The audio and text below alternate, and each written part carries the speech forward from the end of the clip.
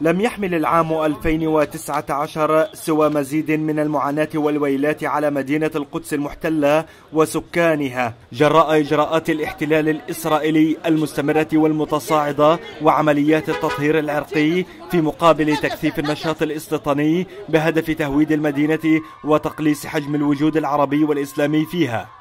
كان هذا العام الأسوأ في تاريخ القدس منذ احتلالها عام 1967 والأكثر وطأة وقتامة على الأقصى المبارك بما شهده من تزايد في وتيرة الاقتحامات حتى وصلت أعداد المقتحمين لآلاف من المستوطنين ولا سيما الدعوات اليهودية لهدمه وإقامة الهيكل المزعوم فوق أنقاضه.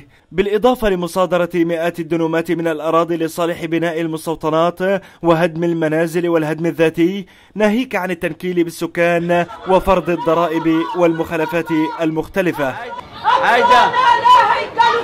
وخلال هذا العام لم تسلم المؤسسات المقدسية من الاعتداءات الإسرائيلية حيث أغلق الاحتلال عدة مؤسسات تعليمية وإعلامية بقرار صادر عن وزير الأمن الداخلي جلعاد أرادان كما قمع الاحتلال العديد من الفعاليات التضامنية بالمدينة وصعد من سياساته التي تستهدف هوية القدس والأقصى ومحاولات تفريغه من المسلمين ودفع المستوطنين على اقتحامه وممارسة طقوسهم التلمودية.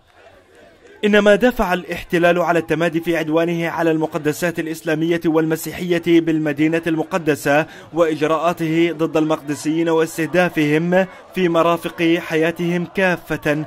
هو الصمت العربي الإسلامي والظروف الإقليمية. كل هذا لم يمنع الفلسطينيين من التصدي والدفاع عن المدينة المقدسة. كيف لا؟ وقد قدموا عشرات الشهداء والجرحى والأسرى في سبيل قضيتهم العادلة.